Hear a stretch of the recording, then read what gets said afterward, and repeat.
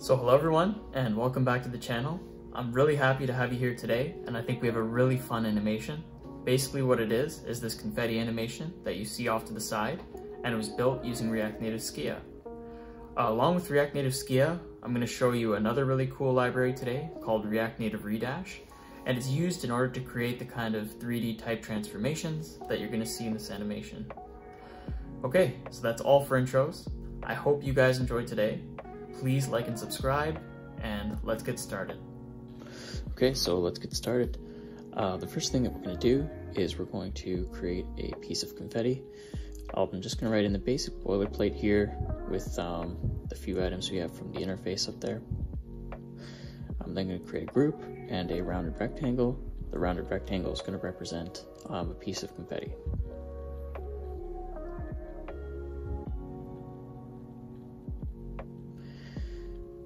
Okay, so I'm also going to get the colors from the color code. Inside the canvas, I'm going to make a temporary confetti piece for now, um, and then we're going to create a bunch of other ones later.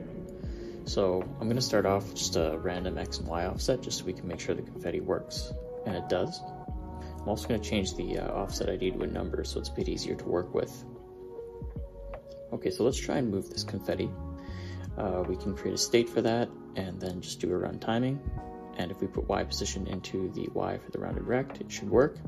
And as you can see, uh, it moves as we expect. All right, so the next thing that we're gonna to want to do is actually rotate this value. And the way that we're gonna rotate this is we're gonna create a computed value. And first we're gonna get the center point of the confetti. And what we're gonna do is we're gonna rotate around the center point of each piece of confetti.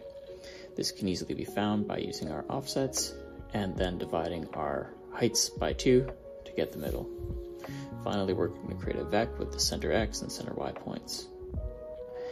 Now what we need to do is create the rotation matrix. The rotation matrix is what's going to actually allow us to rotate things around, and we also want that to change when the y position changes. For now, I'm just going to use some placeholder values of math.random. Uh, the reason being because it's a little bit of work to calculate the actual rotations. We're going to use toMatrix and process transform 3D from Redash in order to use the CSS type syntax to create our matrix. Finally, uh, we add our matrix to the group. And what you're going to see is that the confetti moves in a pretty crazy, fast, and weird way. so what we're going to have to do is slow that down. And we can do that using uh, cosine and tangent functions. So I'm going to call this function relative rotation, and it's going to take in the y position and an offset. And what it's going to do is it's going to actually slow down the rotation as the confetti moves. I'm going to perform math.sine on the y position with math.sine, math.pi divided by 540. And I'm going to create another rand that uses cosine and does similar math. And just to make it appear really random, I'm going to say if it's an even number offset, we're going to do one um, rotation, otherwise we're going to do the other. Now I'm actually going to apply that um, rotation function. So I'm going to say y position dot current, and I'm going to round um, the offset ID that we put in because it's a decimal number. And I'm going to multiply by 2.5 because it seemed like a good constant. It's a bit arbitrary, but uh, made it look really nice. And as you can see, the rotation is um, pretty nice and random there. I'm to add a little more randomness here by doing math.random times 4, uh, just to make sure that the confetti really has no real pattern that anything's ascribing to. And as you can see, uh, rotates quite nicely.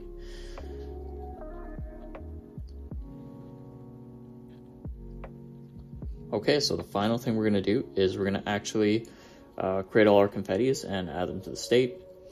Our pieces array will be an offset array. We're going to loop through the number of confetti. And what we're going to do is we're going to create a starting x offset, which is going to be random along the width, and a starting y offset, which is going to be off the top of the screen. So we're going to use height times 3. We're also going to create a random offset ID, and we're going to push that into the uh, pieces array. And we're going to use uh, modulus there just so that we can't get a color outside of our range of colors. finally, we're gonna add our pieces. Okay, last thing to do is loop through our confetti pieces.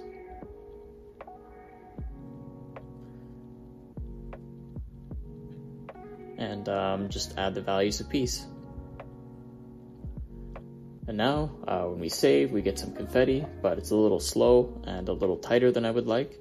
So I'm gonna multiply height by three in the run timing and make it a little faster. And there we go.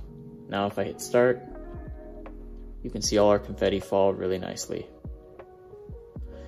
Alright guys, uh, thanks for tuning in, and I hope you enjoyed this animation.